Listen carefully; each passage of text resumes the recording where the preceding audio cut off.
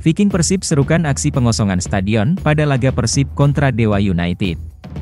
Aksi itu sebagai protes atas kebijakan manajemen Persib terkait penerapan sistem yang memberatkan Bobotoh, Ketua Umum Viking, Tobias Ginanjar, mengatakan, pihaknya siap membuka diri jika manajemen Persib membuka dialog untuk menyelesaikan persoalan yang terjadi, namun, ia menginginkan agar dialog dapat digelar secara terbuka, sehingga tidak hanya satu atau dua orang saja yang berkomunikasi dari kedua belah pihak. Dalam dialog terbuka tersebut, Tobias menginginkan agar aspirasi dari para Bobotoh dapat disampaikan langsung kepada manajemen Persib. Tobi menjelaskan, selain VPC keluhan yang sama pun disampaikan oleh komunitas Bobotoh lainnya, yang juga berharap mekanisme pembelian tiket agar dipermudah. Sebelumnya, VPC memastikan tidak akan memberikan dukungan langsung ke Stadion GBLA, Kota Bandung saat Persib menghadapi Dewa United FC. Tribuners di mana pun Anda berada, kembali lagi bersama Cipta Permana Wartawan Tribun Jabar. Saat ini saya sedang berada di Stadion Persib, Stadion Sidolik, di mana sesi latihan sore pada sore hari ini tim Persib menggelar latihan seperti biasa jelang menghadapi uh, laga pekan ketiga di BRI Liga 1 musim 2023-2024 menghadapi Dewa United. Pertandingan akan berlangsung di Stadion Gelora Bandung Lautan Api pada Jumat 14 Juli 2023 pada pukul 19.00 atau pukul 7 malam.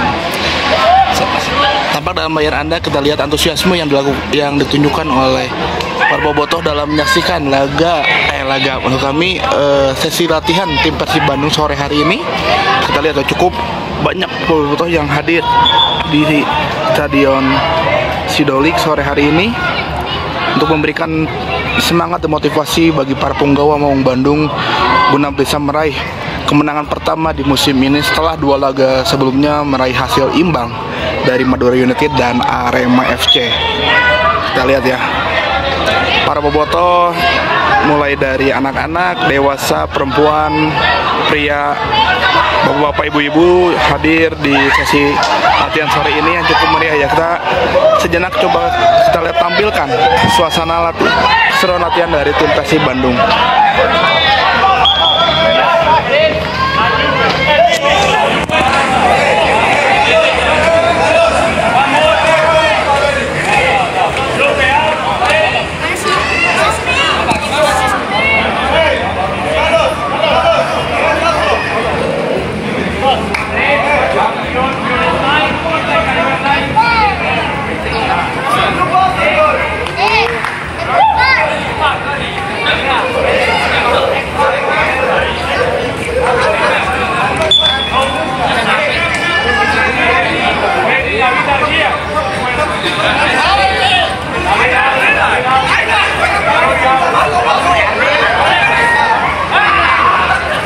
Lebih.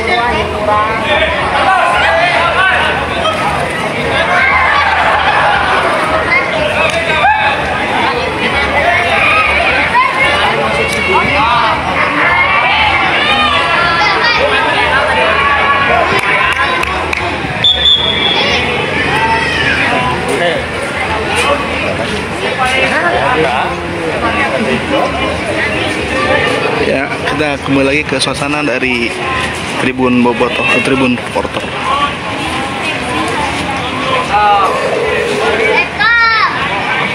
Ya itu dulu lah mungkin bisa kami bagikan pada siaran langsung sore hari ini uh, pantau terus dan saksikan terus siaran langsung dari Tribun Jabar mengenai update terbaru dari kondisi tim Persib Bandung yang laga menghadapi Dewa United. Sekian Kepul Hidayah. Assalamualaikum warahmatullahi wabarakatuh.